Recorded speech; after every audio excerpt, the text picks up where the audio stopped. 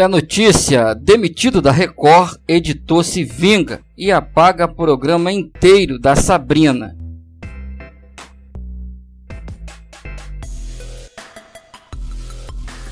É, pessoal, um novo corte de funcionários na Record TV resultou em uma situação inusitada.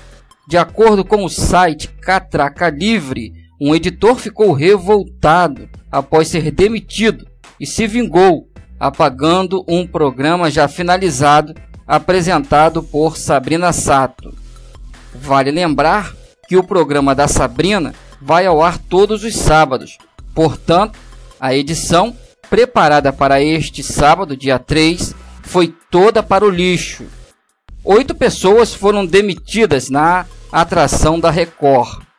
Os profissionais que seguem na emissora estão correndo contra o tempo para recuperar uma semana de trabalho de edição e sonorização a partir do material bruto.